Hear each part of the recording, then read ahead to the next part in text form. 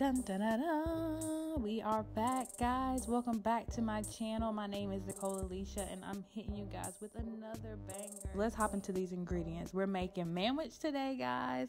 I get the thick and chunky kind. I mean, you can't go wrong with it. Some canola oil for our fries, and some crinkle cut fries. I just get the Food Lion brand.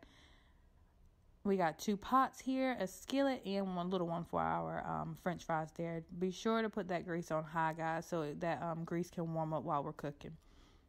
Throwing in that ground beef now. It is kind of disgusting handling it. So if you're a beginner, just literally flip it in there and season it in there. Sometimes I uh, ball it up, kind of like mush it up inside the thing and put the seasoning through it. But I found it works either way, really, when you're cooking it through. We're going to cook the meat on high. Now, right here, you guys want to definitely check the temperature for our french fries. You don't want it to be um, not warm and have soggy fries in there. And at the same time, you don't want to be putting cold fries in some hot, hot, hot grease because it will pop you and it's not going to be fun at all.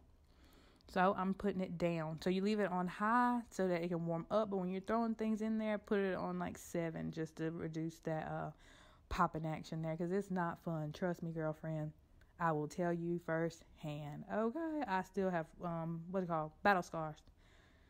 And you want your boil to look like this, not doing too much, not coming over to our pot, and definitely not hitting those burners. We're gonna cook it for about ten to twelve minutes.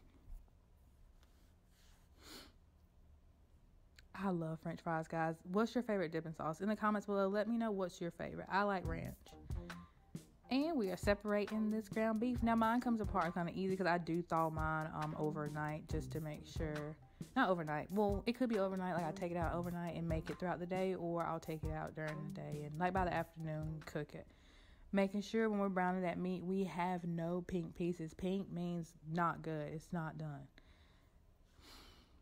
Boom. And this is what your beef should look like after about five to six minutes really of cooking. It cooks pretty fast. Um, as the juice starts to come, definitely keep that fire low if it's popping you. We definitely don't want that.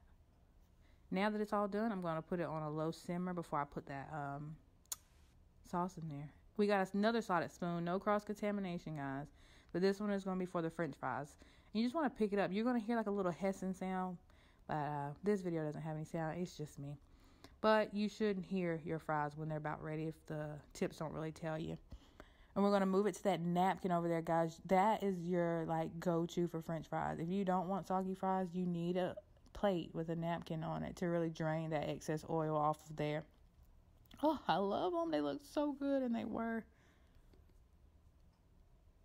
Alrighty. And we're going to drain them juices again. When we got manwich left over, those juices left up there with that sauce, it really looks like little globs of white stuff, and we don't like that. So just drain all that juice out. Again, I got thick and chunky. I do. Um, I have tried bold, and I have tried the regular original kind, and they're both good. But this one was pretty, pretty good. I love the thick and chunkiness about it. In there, I think they had a little bit of peppers mixed in. You can't really see it from this angle, but yeah. Another thing I would normally add that I didn't add in this video would be sugar, and that's just to cut down like the acidity. Um, I think that's acidity in the tomatoes to reduce heartburn. But I didn't have it this time, so your girl had to make do. I know. Yes, I'm putting my buns in the oven, guys. When I don't get nature's own bread for some reason, I feel like I have to warm it up to make sure it's that same softness. So I got two methods for you here. We got sloppy joe with cheese and french fries for the side, and then method two is coming up. But let's talk about this one. And when they say that it's supposed to be sloppy, they mean that it's supposed to be sloppy, okay? It's okay to get a little messy with this one. It's okay to overfill those buns. It's supposed to be like this. It's all right, I promise. And the cheese I'm using today is just a mild cheddar cheese. Normally I use like the really, really thin slice um, mixture of cheddar cheddar, sharp cheddar, cheddar, chopped cheddar, and um, mozzarella. But this time I just used what I had. Boom, and there you have it.